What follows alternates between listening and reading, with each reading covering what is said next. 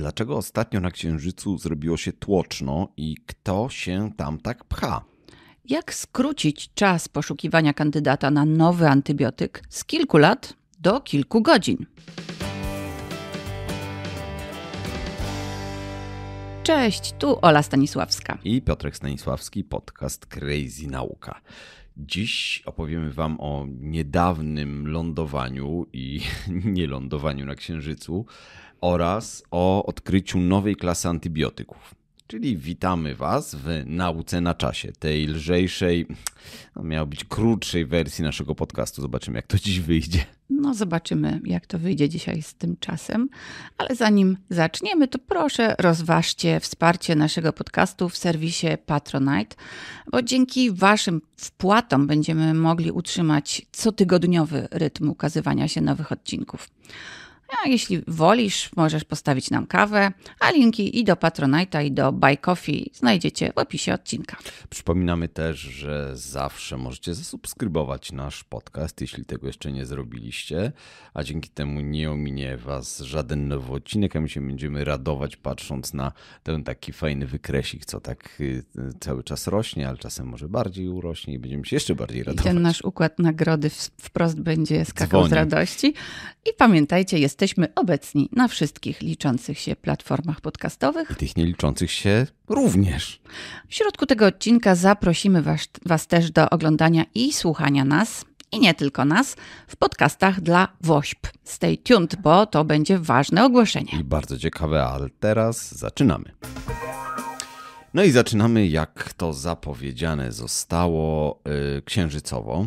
Yy, będzie jest mnóstwo powodów, żeby mówić o księżycu. Yy... No tak, ja tutaj Piotrka namówiłam do tego tematu, on się tym księżycem ostatnio bardziej zajmował, a mnie zastanawia to, dlaczego wszyscy dostali nagle fioła e, na punkcie wylądowania na księżycu. Zimna wojna się skończyła dawno temu. E, wszyscy, którzy e, brali w niej udział, wylądowali wielokrotnie na księżycu. Amerykanie nawet wielokrotnie załogowo. Inni posadzili swoje bezzałogowe pojazdy, czyli sondy na powierzchni Księżyca mniej lub bardziej udatnie. No i co? Co tam jeszcze jest do zrobienia? Czy cytując klasyka, każdy ma swojego bzika. Więc y, zaraz o A tym... poczekaj, a jak nie wiadomo o co chodzi, to chodzi o pieniądze. Mm. I to jest wierzchołek góry lodowej. To są nasze ulubione sformułowania I, i, i, czekaj, z czasów dziennikarskich. I, białe, amatorzy białego szaleństwa. Tak. Jest ostatnio w jakimś tekście... Nikt nam nie będzie mówił, że białe jest białe, a czarne jest czarne. Nie, to nie jest ten klasyk, ale do rzeczy, do rzeczy, do rzeczy. Y, bo okej, okay, takim bezpośrednim i chamskim pretekstem y, do mówienia o tym oczywiście jest, albo nie oczywiście. Jak to chamskim? Jest takim, wiesz, takim z cyklu... Prostackim. Tak dziennikarsko, tak z cyklu. No dlaczego dobra, o tym mówicie? Właśnie, dlaczego teraz? A my mamy ten komfort, że możemy sobie mówić kiedy chcemy, ale teraz rzeczywiście się dobrze składa wszystko, dlatego że 19 stycznia 2024 e, roku, jakby ktoś tego później słuchał, e, wylądowała na Księżycu japońska sonda SLIM to jest jak zwykle sprytny akronim, chyba akronim. E, Smart Lander for Investigating Moon, czyli... To nie jest skrótowiec przypadkiem? Nie, nie, nie, polonistka, idź stąd. E, czyli mm, w bardzo swobodnym tłumaczeniu cwany lądownik do badania Księżyca. E, to jest sprzęt wystrzelony przez japońską agencję astronautyki, czyli JAXA, JAXA, jak kto woli. No i właśnie cała zabawa polega na tym, że ten lądownik. Mm, no był... tak, skrótowiec to jest akronim. Ojej, ale się skompromitowałam jako polonistka. Wytniemy to, ale nie. e, więc wracając. Mm, celem tego było precyzyjne lądowanie. Zresztą oni go nazywali tak nieoficjalnie Moon Sniper, y, bo to jest też ciekawa sprawa, bo jak się myśli o mm, lądowaniach w różnych miejscach, to zawsze wszyscy ekscytują tym, że coś wylądowało na Księżycu albo na Marsie, albo się nie ekscytują, bo to też jest znamienne, że już mamy takie czasy, że z grubsza mamy w nosie to, że coś znowu coś wylądowało na Księżycu, o Jezus Maria. Na Marsie to jeszcze się ktoś może zainteresuje, ale na Księżycu to po prostu jakby się, wiesz, pies pod latarnią odsikał. No, skandal. No tak, następny proszę. Tak, tak dokładnie. E, ale zwykle to, te lądowania są zaskakująco nieprecyzyjne. To znaczy, e, on ma wylądować na Księżycu w pobliżu czegoś tam. I to pobliże to jest zwykle do kilku kilometrów. To znaczy, naprawdę nie jest łatwo wycelować i nie celuje się dokładnie. Mniej więcej się sadza w jakimś obszarze. Yy, natomiast celem tego Slima było właśnie lądowanie z dokładnością yy, do 100 metrów. To jest bardzo dużo, znaczy no w sumie dziwnego, skoro bardzo duża dokładność, jest 300, tak? tak, 380 tysięcy kilometrów od nas yy, i jest to sonda bezzałogowa i tak dalej, więc miał, miał wylądować dokładnie i mu się to najprawdopodobniej udało. Mówię najprawdopodobniej, bo dziś jest 23 stycznia i prawda jest taka, że jeszcze oni tam potwierdzają, zatwierdzają i w ogóle. Yy, ale w ogóle tak, sama sonda jest w ogóle dość prymitywna. To znaczy ten Slim to nie jest żadne znaczy nie chcę powiedzieć, że nie jest cudo techniki, no bo jest, ale, ale nic takiego w porównaniu z różnymi innymi sondami. Tak naprawdę jest to taki potężny kawał, no taka lodówka duża. Yy, Nie bo... chciałeś używać słowa pralka, ponieważ zostało ono użyte w filmie Apollo 13, yy, kiedy yy, matki astronautów oglądają telewizję i mówią o tym, że a nie, to było w pierwszym nie, to człowieku. Było w pierwszym człowieku, tak. tak, że mój syn w odniesieniu do Armstronga, że nawet pralką by wylądował. Nie, wiesz co, bo zacząłem liczyć w głowie, jakiej wielkości jest pralka. To musiała być pralka do prania innych pralek chyba, bo okej, okay, ma to mniej więcej półtora na półtora na dwa metry, więc no bardziej... Taka, taka pralka przemysłowa. Bardziej lodowa jednak. Mm, ważyło wyjściowo 600 kilo, jak lądowało to y, około 600, to około 200, dlatego że reszta to było paliwo, tak mówię dla ogólnego y, pojęcia. No i teraz y, lądowanie się udało. Tam oni mieli kilka celów takich wyznaczonych, y, oni, czyli Jaksa, Jacksa. Najważniejszy cel udało się spełnić, czyli udało się wylądować i udało się wylądować precyzyjnie. Y, bo jak bardzo precyzyjnie jeszcze dokładnie nie wiemy, ale wiemy, że dość dokładnie tam, gdzie chcieli. Dodatkowymi celami było przeprowadzenie badań rozmaitych. Co do tych badań, to na razie nie jest tak dobrze, chociaż może będzie lepiej, dlatego że y, jak już on usiadł, mm, to jeszcze o samym siadaniu za chwilę będzie i locie, y, to się okazało, że nie działają panele słoneczne. Klasyka po prostu gatunku nie pierwszy raz, ale nie działają najprawdopodobniej dlatego, że on się ustawił na zachód. Y, to znaczy te panele są skierowane na zachód, gdzie teraz nie ma słońca. Podkreślam teraz, dlatego że to słońce tam wróci, to znaczy księżyc Y, przestawi się względem Słońca i y, szacują, że około 30 stycznia mm, będzie słońce świeciło tak, że te panele powinny zostać zasilone. Ale czyli stracili łączność i skąd w związku z tym wiedzą, czy dobrze wylądowali? Bo on ma swoje akumulatorki i te akumulatorki, na tych akumulatorkach jest w stanie dość długo podziałać, znaczy dość długo, no, rzędu kilku czy kilkunastu godzin, więc y, skupili się na tym, żeby po wylądowaniu, jak się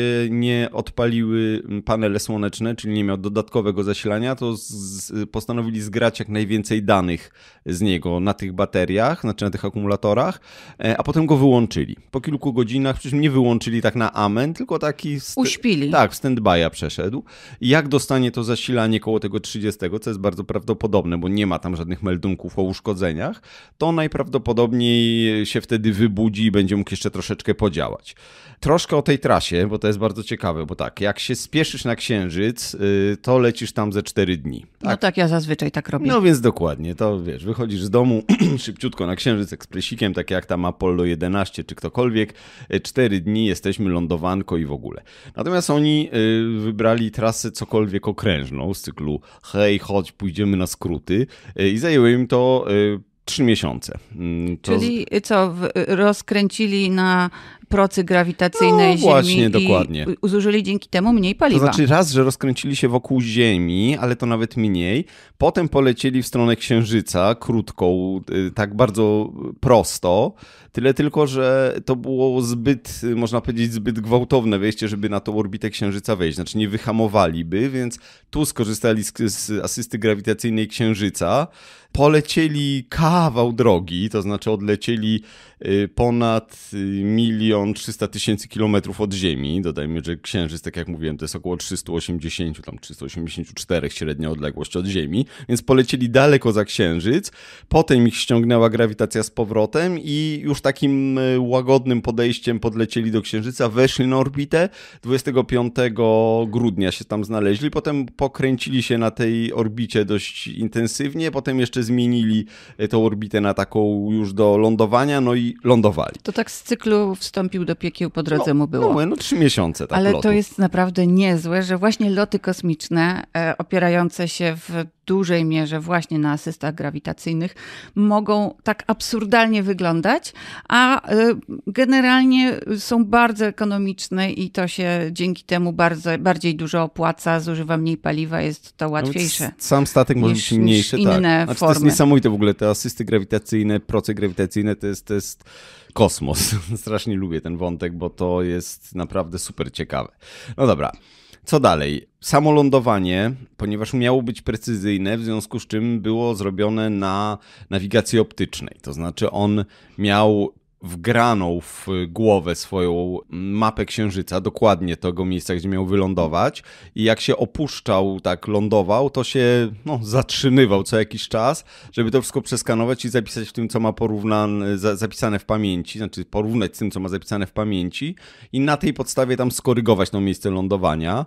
Wygląda na to, że wylądował dobrze, a samo też przyziemienie, czy też, nie wiem, przyksiężycowanie jest ciekawe, dlatego, że on ma pięć łap łapek. Jedna z tych łapek jest taką bułeczką wydrukowaną na drukarce 3D. To wygląda jak taki, co, jak wyjątkowo duży durszlak, tak bym to ujął. Który to durszlak ma za zadanie wyhamować y, ten impet lądowania. Mm, więc y, najpierw opadł na ten durszlak i ten durszlak go wyhamował, potem opadł na pozostałe cztery łapki i dzięki takiej metodzie mógł lądować, to też temu służyło na nachylonym terenie. On zdaje się, że na krawędzi krateru lądował, nie chcę skłamać, ale w każdym razie na terenie nachylonym, co jest istotne też ze względu na to, że jeżeli chcesz gdzieś konkretnie wylądować, to właśnie tam lądujesz. Ale to karkołomne na krawędzi krateru widocznie mieli swój cel ukryty, bo chcieli do tego krateru zajrzeć. E, Zgaduję. Oni, wiesz co, też, to znaczy oni przede wszystkim chcieli przetestować lądowanie. On nie ma jakiegoś specjalnego sprzętu do nie wiadomo jakich badań, więc więc to nie jest tak, że oni tam będą nie wiadomo co robili. Jeszcze fajna rzecz, przed lądowaniem wypuścili dwa no, mini łaziki, można powiedzieć. E, I powiem ci tak, jak Japończycy coś robią takiego kiutaśnego, takiego słodkiego i małego i robocikowego. Cute roboty. Tak, to słuchaj, to wygląda absolutnie totalnie, polecam. A czy to nie wygląda jak ten e, robot ze Star Warsów, tych nowszych? Ten, ta, ta kulko, ten kulkowy? Wiesz co, troszkę tak, troszkę wygląda jak ten kulkowy, tylko to jest małe, to jest, polecam filmik, naprawdę warto obejrzeć, jest Czyli link ta, w komentarzu. Taka kulka jak to jest taka, golfowa? Taka kulka, która się rozsuwa w taki, jakbyś, jakbyś ją w bardziej taką kapsułkę rozciągnęła, tak? I tam w środku jest kamerka e, i jest taki ogonek, którym ona się podpiera e, i przez to, że te dwie połówki kulki rozsuwające się są tak trochę niekoncentrycznie umieszczone, znaczy mają ośki takie, to one się tak trochę pultając na boki przemieszcza. Strasznie śmieszne urządzenie. E, malutkie, mm, ma tam właśnie sfilmować między innymi ten główny lądownik i się poprzemieszczać w okolicy, nigdzie daleko. Drugi z kolei, tu niestety nie znalazłem więcej, wiele więcej informacji, bo mój japoński nie jest tym językiem moim pierwszym powiedzmy, a tłumaczenie z japońskiego automatycznymi tłumaczami czasem się źle kończy. W każdym razie drugi jest skaczący. E, on ma jakiś taki patencik i... A, e, i były wcześniej wcześniej pomysły tworzenia łazików skaczących to y, po powierzchni skaczyków. Y, Księżyca i nie tylko. Na, na, na, Marsie miało to być wykorzystane. Nawet Polacy mieli taki coś projekt było, bardzo fajny. Coś było, no więc ten skacze. Ja jeszcze spróbuję coś potem o nim znaleźć, ale to bardzo fajne. No w każdym razie yy, wylądował, udało się i tak dalej, i tak dalej. Mm, zobaczymy tego pod koniec miesiąca, czy rzeczywiście on się obudzi znowu, ale tak czy inaczej główne cele misji zostały osiągnięte. Wylądował, wylądował yy, precyzyjnie, jeszcze zobaczymy jak precyzyjnie.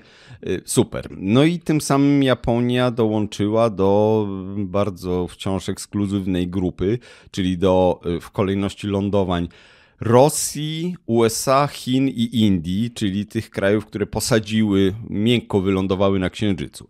Y, bo to, to jest też trochę tak, że jakby na Księżycu to każdy może się rozbić. Wiele różnych, y, na przykład, nie wiem, izraelska sonda się rozbijała. No bo mamy takie czasy, że generalnie jak się postarasz, to y, rozbijesz się o Księżyc. To nie jest jakieś, jakaś wielka robota, nie powiem. I tu że... mogłabym nawiązać do mojego poprzedniego stwierdzenia, że jak ja się rozpędzam. No dobra, ale nie No tak, tego. nie, no ale generalnie jak tu pan Zenon z naszej ulicy się zepnie i zbierze trochę kasy, to się może rozbić o księżyc. No, da radę. W każdym razie nie jest tak trudno tam dolecieć, trudno jest wylądować. O tym w ogóle można by zrobić dłuższą opowieść o lądowaniach na różnych y, ciałach niebieskich, y, szarych i czerwonych też, ale nie w tej chwili. Okej, ale skoro już tak y, mówimy, no to pierwszą wymieniłem Rosję, czy też wtedy Związek Radziecki. Mm, No i Związek Radziecki faktycznie miał długą historię lądowań na Księżycu, chociaż nie załogowych. Tyle tylko, że warto pamiętać, że ich ostatnie lądowanie to była Luna 24 y, i może pamiętasz, to było 9 sierpnia 76 roku. Y, Nie, Nie pamiętasz? nie Naprawdę? pamiętam. Ale już byłaś na Wyobraź sobie. świecie. No i tak, od, Tak. roku niecałego. No właśnie. Y, tak, jesteśmy bardzo starzy. Tak, bardzo. Y, I to od tego czasu Rosjanie nie lądowali na Księżycu, czyli no 48 lat. I teraz postanowili, Musisz mi wypominać. postanowili wrócić w wielkim stylu. 11 sierpnia zeszłego roku y, poleciała na Księżyc Luna 25 i mieli lądować y, koło południowego bieguna. Y, To jest ważny rejon, o tym jeszcze powiem, bo tam jest woda. I co ciekawe, również ścigali się z misją, o której za chwileczkę powiem, czyli z indyjską misją Chandrayaan 3 która wystartowała chyba dzień wcześniej, ale Rosjanie zamierzali lądować chyba dzień e, przed tamtą misją. No, generalnie byli sprytni i w ogóle, to już nie pierwszy raz, jak oni się tam na księżyc ścigali. Ale że oni wciąż jeszcze mają energię, takie, takie Mm. No, manewry w ogóle wykonywać. historia tej sondy jest, y, zaraz o niej powiem troszeczkę, długa i bolesna. W każdym razie najpierw. y, Na orbitę księżycową weszli 16 sierpnia, czyli szybciutko. Lądowanie miało być 21 sierpnia. Y, Tam zacieśniali orbitę i no i tak ją zacieśnili, że się rozpierniczyli o księżyc, bo zamiast 84 sekundy działać silnik, to działał 127 sekund, y, co spowodowało po prostu, że ich Luna 25 się rozłuniła o księżyc i tyle ją widzieli. Ups.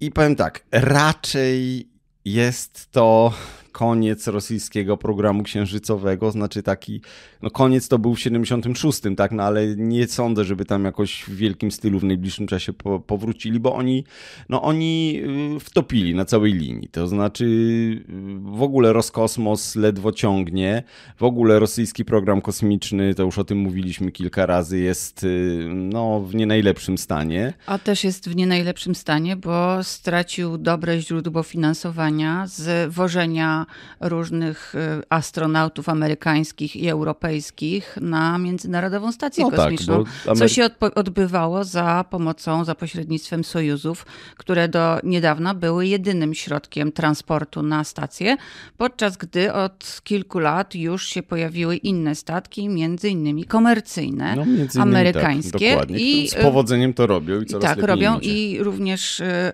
europejskie statki się pojawiły i, i amerykańskie niekomercyjne. Więc mamy tu e, no, też jedną z przyczyn tego, dlaczego Rosja e, nie daje rady finansowo. A Rosja nie daje rady finansowo, dlatego że jest, y, przepraszam bardzo, ale agresywnym i drańskim krajem, y, które, z, które, z współpracy z którym wycofują się różne inne kraje. I to w ogóle ten Luna 25 miała tych opóźnień coraz więcej, ale zaczęło się już od sankcji związanych z aneksją Krymu i wybuchem wojny w Donbasie. Przypominam, rok 2016. 2014. E, czy 14. Tak, i wtedy już y, te sankcje spowodowały, że nie mogli kupić y, aparatury do y, nawigacji. Zrobili własną aparaturę do nawigacji, jak widać świetnie się sprawdziła. E, Potem jeszcze w 2018 roku tam się wycofała szwedzka firma, e, która zabrała od nich jedno z urządzeń i z kolei zamontowała je w chińskim lądowniku Chang'e 4. O tym jeszcze też będzie. A potem, jak już napadli na Ukrainę, w, jak powiem, aktywnie w kolejnym, w kolejnym cyklu, to Europejska Agencja Kosmiczna się wycofała z współpracy. Oczywiście Rosjanie się nadeli, Putin ogłosił, że oni tu w ogóle sami nikogo nie potrzebują i tralalala i tak dalej. Więc finalnie zostało stamtąd wymontowane, jeszcze została wymontowana bodajże kamera y, nawigacyjna y, europejska. No i wszystko to razem opóźniło start misji, po czym Rosjanie połatali to własnym sprzętem, czym to wszystko się rozpieprzyło o księżyc. No powiem tak, mam mieszane uczucia, bo z jednej strony y, jednak nauka i tak dalej, i tak dalej, z drugiej strony... No pytanie, w jakim celu to robili? Czy to nie jest tak, że teraz y, chcą eksploatować złoża na Księżycu na przykład? O eksploatacji dlatego... złóż zaraz będzie, wiesz co, no jakby nie było, wszystkie te misje są, mają mm, podwójne znaczenie, czy naukowe i potencjalnie gospodarcze.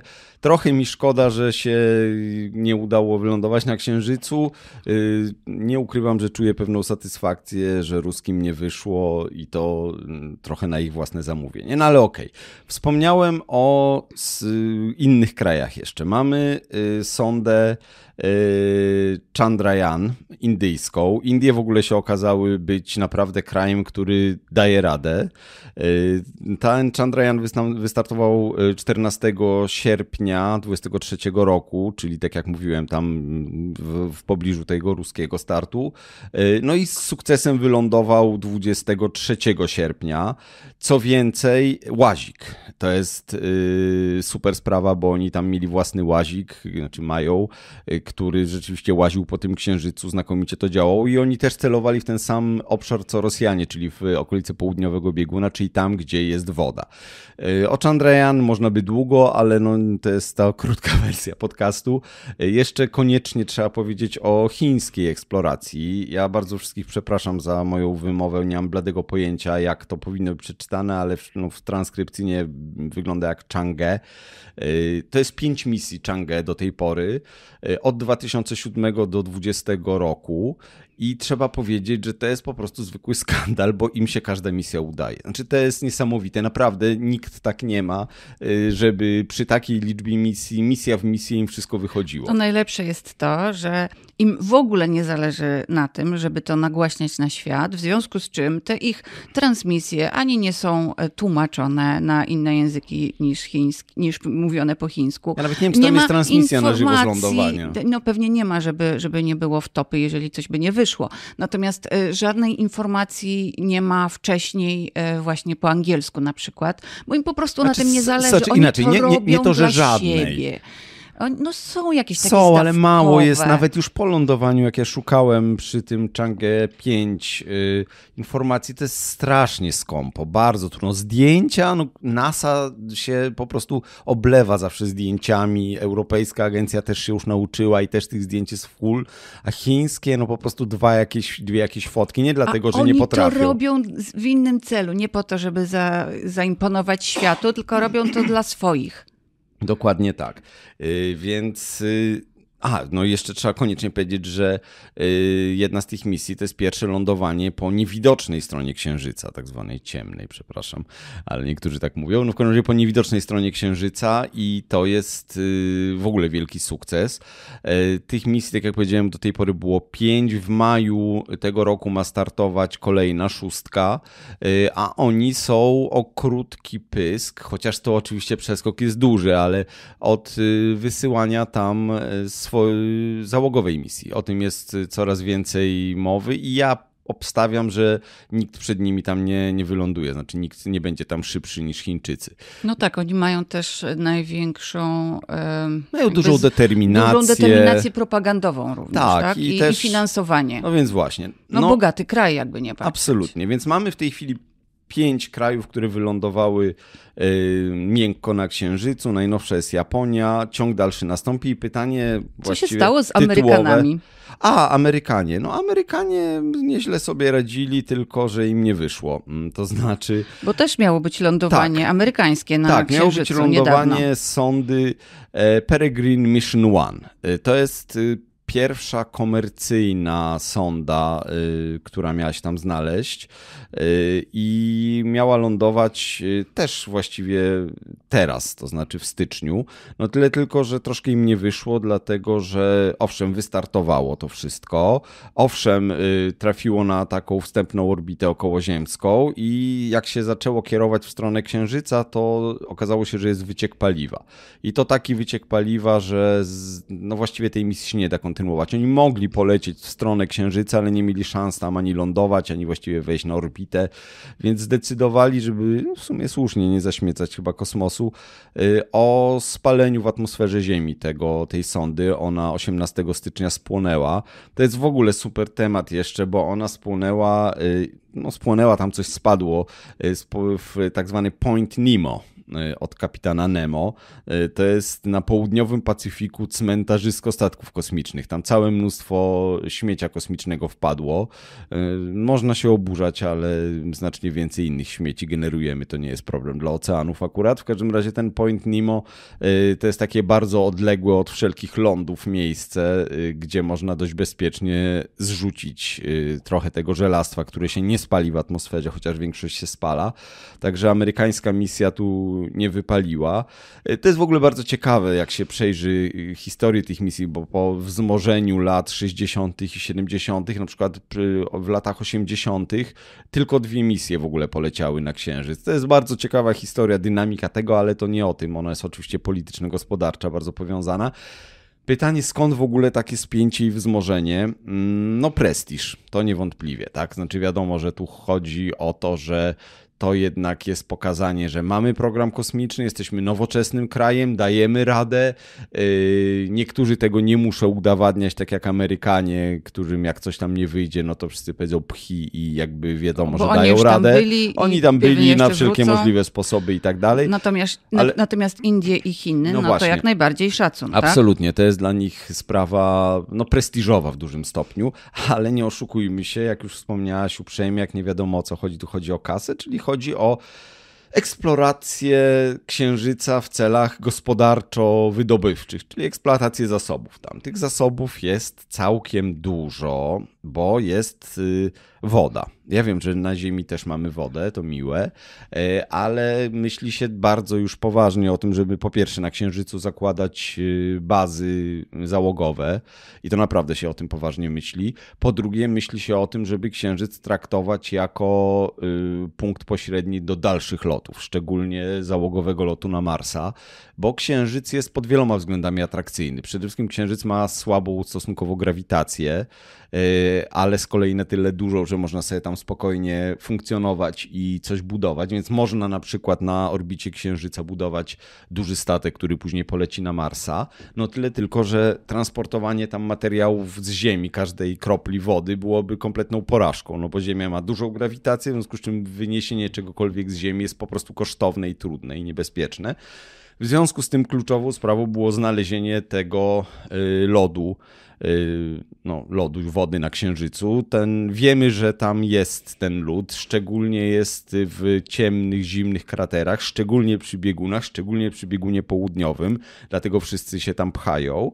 No dobrze, to ja ci wejdę słowo. Jak oni to sobie wyobrażają, bo pewnie do, doczytałeś, y, że co, nie będą transportować y, materiałów z Ziemi, tylko co, będą wydobywać je na Księżycu, całe hutnictwo będzie się tam rozwijało i będą i metalurgia będą te wszystkie części robić na Księżycu od początku do końca? Taka manufaktura od zera do bohatera? To nie wszystko, ale dużo. To znaczy Księżyc ma swoje zalety. Ma też pewne rzeczy, których tam brakuje, więc trochę trzeba będzie dostarczyć, ale okej, okay, ma mnóstwo regolitu, czyli tego księżycowego piachu, że tak powiem, z którego można bardzo dobrze budować. Można go czymś zlepić i, i traktować to po prostu jako materiał budowlany.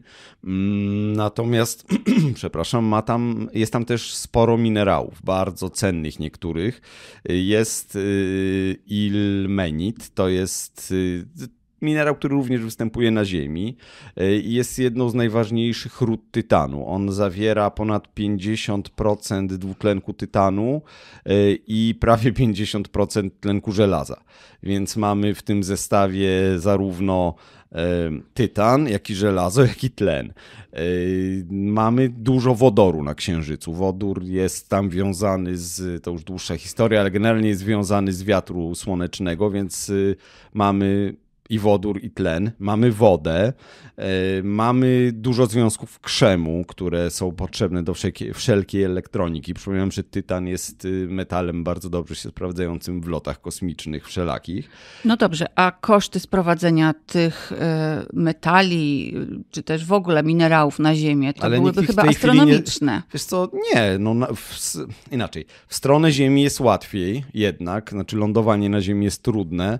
Yy, ale z drugiej strony mm, wcale niekoniecznie zamierzamy je sprowadzać na ziemię. Tam na miejscu zamierzamy z nich coś budować. Więc jeżeli tam ciekawe się, to no, jeżeli się tam wybuduje bazę, to w tej bazie można pracować intensywnie nad dalszymi lotami, nad eksploatacją Księżyca, być może również nad sprowadzaniem tego na Ziemię. Też to już nie jest takie trudne. E, jest jeszcze jedna rzecz bardzo interesująca, o której się dużo mówi, chociaż to wciąż jest jeszcze taka trochę pieśń przyszłości, e, czyli Hel 3. To jest izotop helu. Na Ziemi rzadki, na Księżycu dość powszechny, dość.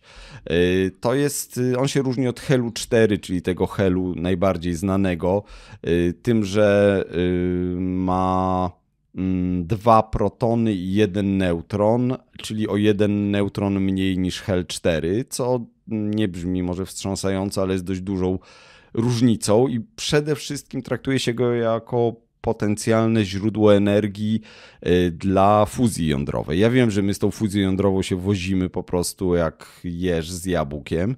Y, co jest mitem. Co jest mitem. No, jeże nie, nie Może kiedyś jabłek. opowiemy ten dowcip no. o, o jeżu i jabłku. Y, pozdrawiamy Nord Trip. Tak, pozdrawiamy Nord Trip, który nam Naszych gospodarzy ten... w Norwegii podczas naszej ostatniej tak, wycieczki. Może kiedyś, może kiedyś, może kiedyś. No dobrze, w każdym razie y, co jest ważnego? Hell, który znakomicie by się tu sprawdził, spra był, jest, sprawdziłby się dlatego, że y, on jest, znaczy można dzięki niemu prowadzić fuzję aneutronową. To znaczy fuzję, w której uwalniana energia nie idzie w neutrony. Problem polega na tym, że neutrony y, są, to jest promieniowanie, które no, jest y, szkodliwe, niszczące, tak? Znaczy strumienie neutronów są w stanie e, rozwalić bardzo wiele rzeczy, w związku z czym e, jeżeli robimy fuzję taką klasyczną, e, deuterowo-trytową, którą jakby na Ziemi upra próbujemy uprawiać. Ogromnym kosztem energii, która tak, jest potrzebna wciąż, do tego, żeby tę fuzję wykonać. Wciąż jesteśmy w lesie, ale pewnie z tego lasu w końcu wyjdziemy. No Natomiast i to jest wielka nadzieja Różnica jest taka, jak robimy deuterową, fuzję, to 80% energii uwalnia się w postaci promieniowania neutronowego, czyli trzeba to ekranować, nie można tam zdalne manipulacje, w ogóle cała szopa. A teraz uwaga, przy fuzji z Helu 3 Y, mniej niż 1% energii jest uwalnianych w postaci neutronów. Czyli to nie, nie jest. Wyjątkowo wydajne. Jest, nie, nie jest niebezpieczne przede wszystkim. Tak? Nie musisz robić y, nie wiadomo czego, żeby tą fuzję tam prowadzić. Y, na Ziemi tego helu 3 jest malutko, bo on stale ucieka. On jest w ogóle jednym z takich pierwotnych pierwiastków, które powstały, znaczy trafiły na Ziemię przy tworzeniu się planety, ale on jest wywiewany i ewakuuje się w kosmos. I tak dla informacji na Ziemi jest naprawdę rzadki, bo na milion atomów helu 4 jest tak około 3 y, atomów y, helu 3, w najlepszych miejscach 12 atomów helu 3 na milion, więc no, na Ziemi jest trudno, na Księżycu dobrze, więc podsumowując tą opowieść, na pewno warto walczyć o księżyc, nie tylko ze względu na prestiż, ale też ze względu na to, że tam jest mnóstwo materiałów, które można sprowadzać na Ziemię, na pewno, ale też można z nich na miejscu tworzyć rzeczy, które pozwolą nam lecieć dalej i to jest wielka nadzieja i tak naprawdę też wielkie pieniądze. Więc y, tych misji księżycowych zobaczymy jeszcze całe mnóstwo, już ale ich jest dużo. Wkraczamy w taką erę, którą pokazuje właśnie serial. Chciałem, miałem nadzieję, że o tym powiesz. I właśnie o tym mówi serial, który wielbimy i oglądamy na Apple TV, prawda? Tak, tak, Apple TV. I tytuł tego serialu e, For All Mankind. I to jest e, w ogóle serial, który pokazuje e, alternatywną wizję eksploracji i w ogóle podboju kosmosu. Nie spoileruj za dużo. Nie spoileruję, czy... natomiast te wszystkie rzeczy, o których my tutaj dzisiaj powiedzieliśmy, odnośnie baz w kosmosie i lecenia dalej, to jest jak najbardziej w tym serialu pokazane. Tam punktem wyjścia ważnym, to można zaspoilerować, bo to pierwsze minuty pierwszego odcinka, jest to, że wyścig kosmiczny nie ustaje. To znaczy, właściwie w momencie, kiedy w naszym świecie Amerykanie wylądowali na Księżycu, a Rosjanie nie, to ten wyścig kosmiczny zdechł. Już potem się, no już jakby napęd padł z miliona powodów. Natomiast y, w tamtym świecie, w tamtej rzeczywistości, to Rosjanie pierwsi lądują na Księżycu, y, więc Amerykanie doznają pięcia tylnej części ciała i ten wyścig trwa i on trwa, trwa, trwa. I to ma fundamentalne konsekwencje dla polityki, gospodarki świata. Powiem, że ten serial jest świetnie zrobiony też pod kątem właśnie political fiction. Tam jest bardzo duży ten aspekt i całe podłoże gospodarczo-polityczne ale też oczywiście jest obyczajowo bardzo fajnie zrobiony. Tak, znaczy to w ogóle jest świetny serial, świetny. bardzo wam go polecamy, Nikt nam za a poza nie tym płaci. naukowo jest y, bardzo akuratny. No dobra, a teraz to jest właśnie świetny moment na to, żeby zaprosić Was na wielki finał WOŚP w najbliższą niedzielę 28 stycznia. To będzie całodzienny streaming, podcasty dla WOŚP. Rewelacja po prostu. Strasznie mhm. się cieszymy, ja bierzemy się w tym Dzisiaj udział. Mi się śniło. O, no, jest naprawdę super. I po, przez cały dzień kilkudziesięciu najlepszych polskich podcasterów będzie prowadzić audycje na żywo. To, będzie, to będą takie dwudziestominutowe wejścia antenowe. Każdy z, każdy z kilkudziesięciu podcasterów będzie, będzie takie wejście miał. I to z włączoną wizją, więc będzie można nas nie tylko usłyszeć, ale też zobaczyć, zobaczyć w akcji.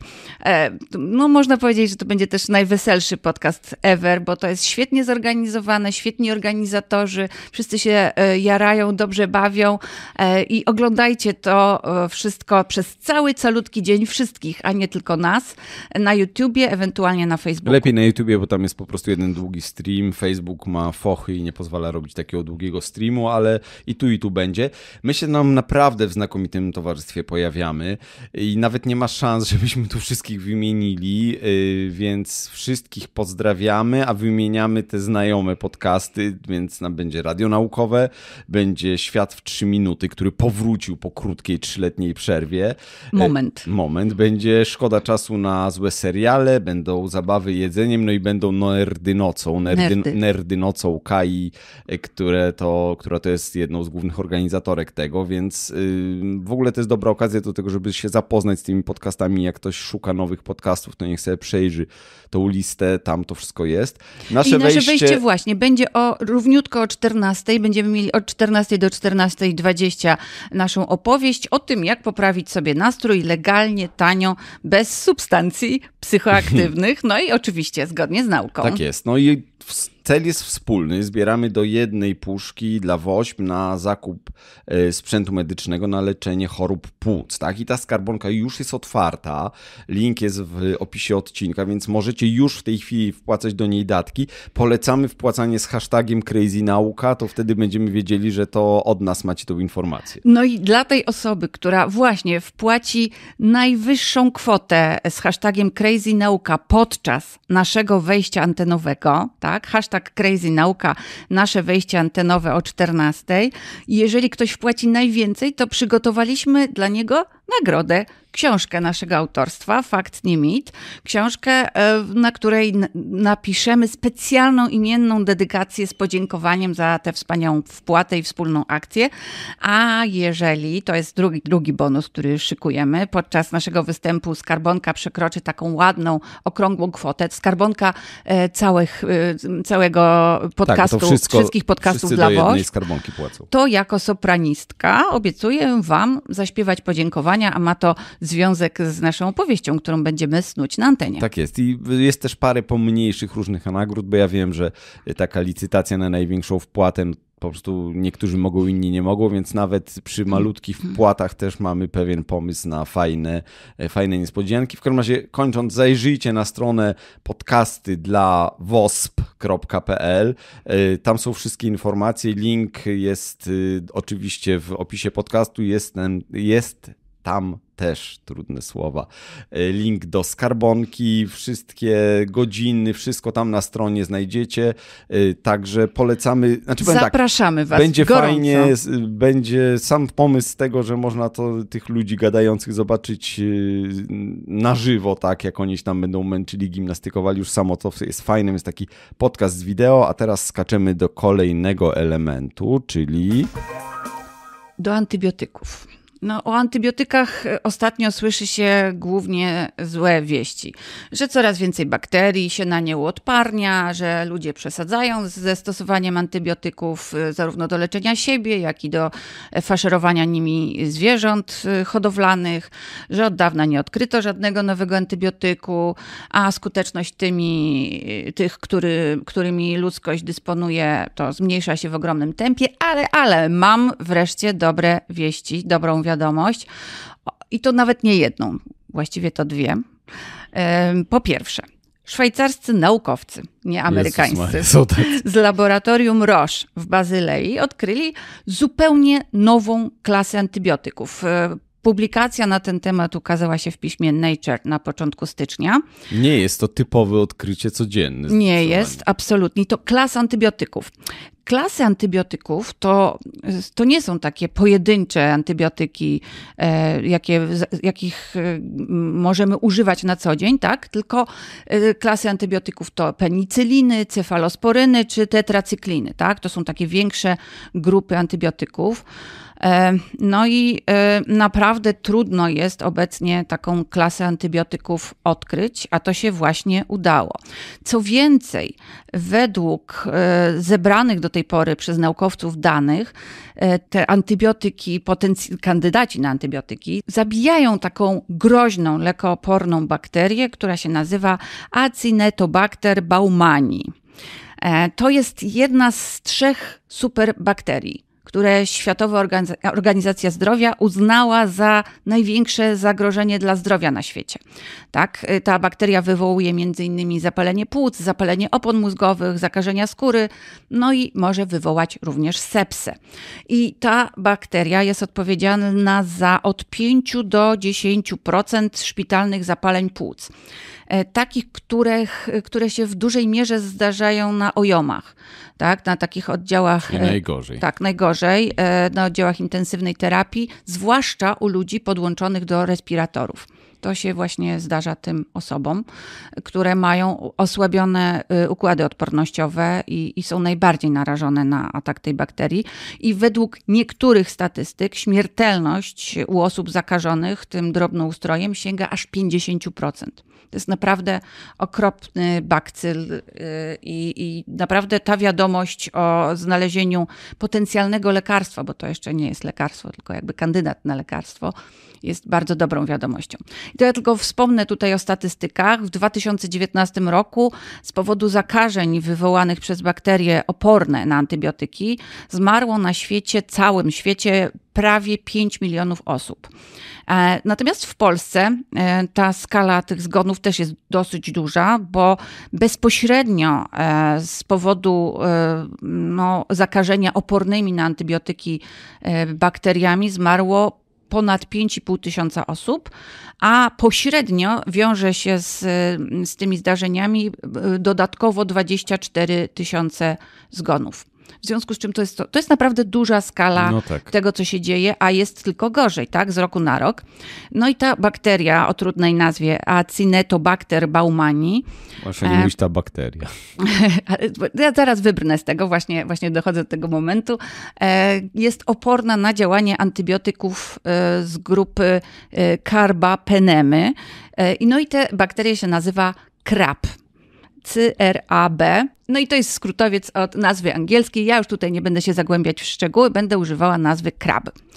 No i ten krab, podobnie jak inne bakterie gram ujemne, bo do tej grupy należy, e, to jest bardzo skuteczny w powstrzymywaniu antybiotyków przed przedostaniem się e, przez zewnętrzną błonę komórkową do wnętrza bakterii. Tak? I ta, to- chodzi o to, że ta zewnętrzna błona jest y, mocno uszczelniona. I tym, co tak dobrze uszczelnia tę błonę bakteryjną, e, jest e, jeden z, po, z lipopolisacharydów, tak? w skrócie LPS. E, I on umożliwia bakteriom życie w trudnych warunkach, pozwala im też uniknąć ataku naszego układu odpornościowego. To jest generalnie taka, taki trochę pancerzyk dobrze doszczelniony i ta bakteria się wewnątrz czuje bardzo dobrze i, i, i nie działają na nią za bardzo czynniki zewnętrzne. No więc y, na ten, e, na ten właśnie pancerzyk e, naukowcy z Bazylei e, znaleźli sposób. E, I teraz uwaga. E, Rzecz w tym, że od ponad 50 lat nie zatwierdzono żadnego nowego antybiotyku, który byłby skuteczny w, e, starciu z bakteriami gram ujemnymi. W To jest ogóle. kluczowa informacja. kluczowy- 50 lat, to znaczy Tak. to jest naprawdę był ten moment wybuchu y, nowych antybiotyków, Tak, kiedy ja o je odkrywano, tak, i potem po prostu, przepraszam, blada dupa przez wiele lat. Dokładnie. I to jest y, w ogóle ogromna, y, ogromny sukces, ale to nie jedyny z ostatnich dosłownie miesięcy, ale o tym za chwilę. No i powiem, y, kolejna trudna nazwa się pojawi. Ja tutaj się gimnastykuję, żeby te nazwy prawidłowo y, wymówić, przeczytać. I ta nowa y, substancja, którą właśnie odkryto w Bazylei, ma jak zwykle trudną do, do wymówienia nazwę Zosurabalpina. Dzięki, zapamiętaliśmy. Tak, y, ja postaram się już więcej nie użyć tej nazwy, Dzięki. bo sprawia mi to kłopot. No i ona y, w testach pokonała szczepy zapalenia płuc i posocznicy, czyli sepsy, na razie u myszy. Ale to daje już nadzieję na to, że zadziała również u ludzi. Co więcej, ona znajduje się e, obecnie w testach, w badaniach klinicznych z udziałem ludzi, więc e, no, nie powiem, że niedługo, bo testy kliniczne trwają bardzo długo, wiele lat. E, Może dojść do naszych uszu informacja, czy ona rzeczywiście jest również u ludzi skuteczna, czy No, nie. Obstawiałbym, że o tyle raczej tak, że tu działanie nie opiera się na fizjologii ludzkiego organizmu. Znaczy, oczywiście zawsze mogą być jakieś ale, tylko tyle, że No tutaj niestety statystyka jest nieubłagana, bo większość substancji, które e, trafiają do testów klinicznych, e, większość kandydatów na antybiotyki, e, no niestety tych testów klinicznych na ludziach nie przechodzi. I to jest to ciekawe w sumie dlaczego, ale Zdaje się, temat. chyba 60% nawet odpada. W każdym razie, już sam proces typowania nowego kandydata na antybiotyk jest straszliwie pracochłonny i trudny. E, Żeby e, odkryć tę substancję zosurabalpinę, piękna nazwa, Pięknie. uczeni przebadali około 45 tysięcy cząsteczek rozmaitych. No i teraz tak. e, Pracochłonne. Pracochłonne, coraz to nowe technologie pomagają oczywiście przyspieszyć ten proces, a ja jeszcze na koniec powiem o tym, co tak radykalnie przyspiesza, bo to jest, to jest po prostu rewolucja, to co się w tej chwili dzieje, w, e, jeśli chodzi o tworzenie nowych leków. No ale jeszcze króciutko opiszę, jak ten nowy antybiotyk e, działa, w sensie nowy kandydat e, na Mhm. antybiotyk. E, hamuje przedostawanie się tego lipopolisacharydu do zewnętrznej błony bakterii.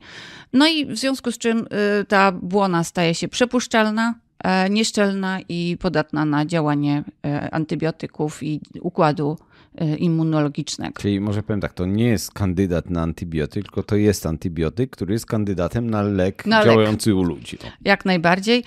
No i y, tak naprawdę przy tym odkryciu mamy dwie publikacje w Nature właśnie z początku stycznia. Drugie, y, druga publikacja dotyczy w ogóle y, opisania tego mechanizmu, tak, jak to działa i to jest y, publikacja y, naukowców z Uniwersytetu Harvarda w Stanach Zjednoczonych. Y, linki do obydwu znajdziecie w opisie odcinka. E, no, ale warto powiedzieć, że naukowcy pracują też nad innym rodzajem antybiotyku, który działałby w podobny sposób, e, uniemożliwiając transport tego lipopolisacharydu do zewnętrznej błony komórkowej. Troszeczkę inny mechanizm tam będzie wykorzystywany. E, antybiotyk, ten drugi, nad którym się również pracuje, nosi również łatwą nazwę murepawadyna. A nie, to jeszcze brzmi spoko. Tak, no i uwaga, y, on daje ogromne nadzieje na to, że będzie skuteczny wobec innej super, superbakterii, pałeczki ropy błękitnej, która jest y, oporna w zasadzie na wszystkie antybiotyki. E, I naukowcy twierdzą też, że możliwe będzie rozszerzenie tych badań, mm, e, jeśli chodzi o skuteczność, na inne bakterie oporne, na wiele antybiotyków. Takie jak na przykład Klebsiella, czyli pałeczka zapalenia płuc, czy y, Escherichia coli, czyli pałeczka okrężnicy. To są mega um, trudne do zwalczania bakterie, które są przyczyną bardzo wielu zakażeń, właśnie um, przede wszystkim szpitalnych, no tak, ale bo, nie tylko. Bo tu problemem jest jakby nie same Escherichia coli, tylko te szczepy, które są anty, antybiotykooporne. Tak? Czyli innymi słowy, działa to, znaczy mamy ewolucję w czystej postaci. Jeżeli działamy na, nie wiem, 100 y, powiedzmy komórek bakteryjnych antybiotykiem, to 99 czy 98 z nich szlak trafi, e, a jedna czy dwie są zmutowane lekko, czy tam mają jakieś inne mm, takie właściwości, które spowodują, że przetrwają i to one się namnożą i dzięki temu mamy już kolejne 100 komórek, które są odporne odporne. Następne tak? pokolenie odporne, oporne na działanie mhm. antybiotyków. I to jest trochę jak e, w tej książce Czerwona Królowa, tak? że trzeba cały czas e, biec, żeby można było powiedzieć, że znajdujesz się w tym samym miejscu. Albo tej, w tej książce o powstawaniu gatunków, e, co to niektórym ciaptakom się wydaje, że to nie jest prawda, tylko jakaś taka opowieść, więc jeżeli ktoś potrzebuje dowodu na działanie ewolucji, to właśnie mamy go tu. Jak najbardziej. I z tą Czerwoną Królową to chodzi o to, że my jako ludzkość musimy cały czas e, wymyślać nowe leki, nowe antybiotyki, bo te e, bakterie e, nas po prostu wyprzedzają. A my, żeby musimy po prostu biec, starając im się dorównać, a w tej chwili zostajemy niestety trochę w tyle. No ale to jeszcze właśnie wrócę do, do tego, co już wspomniałeś, czyli do złotej ery antybiotyków.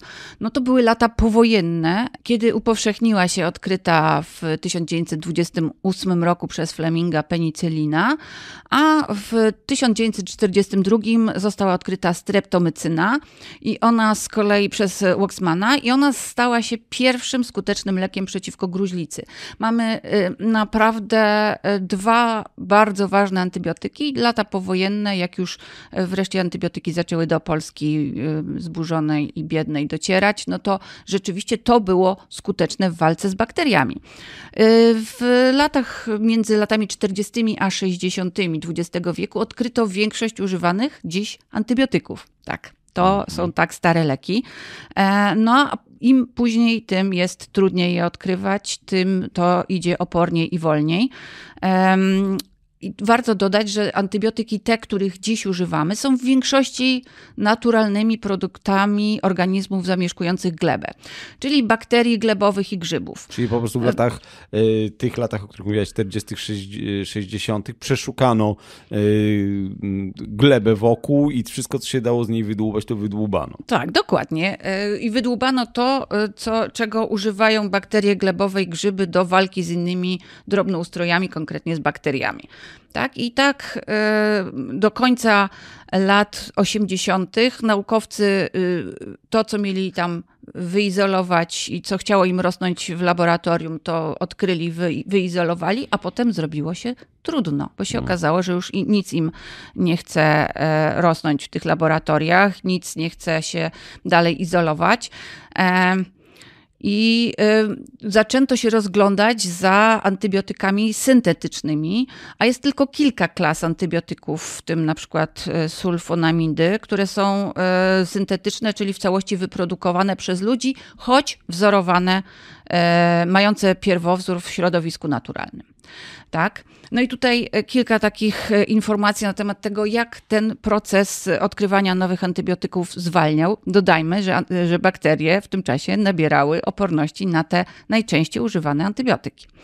E, na przykład Agencja e, Żywności i Leków, czyli FDA amerykańskie, w latach 1983-87 zatwierdziła aż 16 nowych antybiotyków, a w latach 2000 8 2013, tylko dwa. Mhm. E, tu jeszcze jedna e, dana. Od 1987 roku do 2023 nie odkryto żadnej nowej klasy antybiotyków. No tak, to pokazuje skalę tego odkrycia. Tak. No i właśnie dochodzę teraz do tego drugiego odkrycia e, bardzo ważnego, o którym miałam e, dzisiaj powiedzieć, czyli e, w roku 2023 zespół amerykański, to są dwa ośrodki, Broad Institute na Massachusetts Institute of Technology i Uniwersytet Harvarda. Zespół z tych dwóch ośrodków opisał, w jaki sposób zaprzągł do poszukiwania antybiotyków sztuczną inteligencję, hmm. a konkretnie deep learning. I y, uwaga, y, ta sztuczna inteligencja sprawdziła miliony związków pod kątem ich skuteczności w starciu z bakteriami. I teraz to nie były tylko związki te, które wcześniej testowano, właśnie z, izolowane z mikroorganizmów glebowych i organizmów żyjących mhm. w glebie, ale również inne takie trochę spoza pudełka. No i to się okazało e, strzałem w dziesiątkę, bo tutaj e, udało się naukowcom e, po tym wstępnym wyszukiwaniu za pomocą sztucznej inteligencji wytypować 283 obiecujące związki i przetestować je na myszach. I teraz uwaga, odkryli kilka klas substancji, takich, które mogą potencjalnie stać się lekami, właśnie antybiotykami, w tym, uwaga, jeszcze jedną skuteczną przeciwko superbakteriom. I teraz y, na pewno większość z Was o tym słyszała. Chodzi o superbakterię gronkowiec złocisty oporny na metycylinę, czyli MRSA słynny oraz enterokoki oporne na wankomycynę. To są takie te turbo superbakterie, e, które są naprawdę ogromnym zagrożeniem e, w ogóle dla zdrowia publicznego. Które są odporne, oporne na te antybiotyki, które się uważa za takie antybiotyki już ostatniego ratunku, czyli to już są takie bakterie, którymi, z którymi właściwie nic nie jesteśmy w stanie zrobić. Tak, absolutnie i po prostu one są przyczyną śmierci i, i większości zakażeń szpitalnych. No, oczywiście to, co już wspomniałam, że od, od odkrycia potencjalnie obiecujących substancji do stworzenia leku działającego antybiotyku jest jeszcze długa droga. E, potrzeba badań przedklinicznych, potrzeba badań klinicznych i w tradycyjnym procesie całość trwa kilkanaście lat, nawet może więcej czasami. No i tutaj uwaga, można skrócić ten czas właśnie wykorzystując sztuczną inteligencję do tego, żeby e, typowała te związki, które e, mogą być obiecujące. I badacze z Broad Institute twierdzą, że byli w stanie odkryć tysiące lub setki tysięcy kandydatów na antybiotyki w ciągu, przetestować właściwie, w ciągu zaledwie kilku godzin. E, zamiast zajmować się tym, uwaga, przez 3 do 6 lat, bo tyle to e, zajmowało w tradycyjnym modelu działania. No tak, no bo tu mamy możliwość tej, po pierwsze, samego wyszukiwania, później dalej już symulacji. Oczywiście to nie zwalnia z obowiązku zrobienia testów klinicznych, żeby było jasne, ale już będzie przynajmniej co testować klinicznie. Tak, czyli 3 do 6 lat już mamy do przodu e, w momencie, kiedy e, ta sztuczna inteligencja włącza się w, w ten system wyszukiwania. Co więcej, to nie jest, nie dotyczy oczywiście tylko antybiotyków, ale w ogóle poszukiwania substancji, e, które mogą być wykorzystane w nowych lekach, poszukiwania nowych leków, krótko mówiąc. I to takie modelowanie cząsteczek, czy też przeszukiwanie baz to jest już coraz prężniej działająca branża na świecie i można powiedzieć, że tak naprawdę już zaczyna się rewolucja. No bo jeżeli w ciągu e, dwóch lat, tak, rok ubiegły i ten, już mamy e, doniesienia o odkryciu nowych klas antybiotyków po, po takim długim przestoju, po, po naprawdę chudych latach. ostatni dzwonek właściwie na to, żebyśmy jeszcze się mieli czym leczyć. No to teraz trzeba będzie jeszcze poczekać, aż te testy No kliniczne tak, się skończą, ale bo tak one też mówię, będą będzie długo co trwać. testować, to Absolutnie. ważne, tak, więc akurat się powinniśmy wyrobić. Więc y, to jest ta dobra wiadomość, mimo że jeszcze wymaga mm, potwierdzenia wielu badań i czasu, to możemy no, założyć, że idzie to wszystko w dobrym kierunku. No, to No, sztuczna inteligencja, jakby ktoś uważał, że jest mało potrzebna, albo to zawracanie głowy, to się okazuje, że jednak nie. Niekoniecznie. No właśnie, a jeśli chodzi o sztuczną inteligencję, e, to my o niej zrobimy oddzielną audycję. I to dodatkową. I dodatkową. E, Konkretnie będziemy mówili o tej sztucznej inteligencji, która stoi za mądrością asystentów głosowych, czyli takich system, asystentów jak e, Alexa Amazona czy asystent Google'a. No i za ich Albo Siri. dobrą wymową, bo to jest bardzo zasadnicza sprawa. O tym będziemy właśnie mówili w takim dodatkowym odcinku, który jest, że tak powiem, under construction, premiera jeszcze w styczniu. Jeszcze w styczniu, także zapraszamy Was i zapraszamy Was do słuchania nas co tydzień. E, We wtorki wypuszczamy nowe odcinki. Wspierajcie nas na Patronajcie, to Tak będziemy jest. w stanie utrzymać to dobre tempo cotygodniowe. A kto jeszcze teraz słucha na gorąco, to 28 stycznia przypominamy podcasty dla WOŚP. Co możecie nas nie tylko usłyszeć, ale i zobaczyć, no i się dorzucić do WOŚPa. A ostatnie, e, na ostatek, ten, kto dosłuchał do tego momentu, to jest proszony o podanie hasła w komentarzu gdzieś e, na, którymś z, e, na którejś z platform i to hasło będzie brzmiało, no wymyśl coś. Eee, księżyc.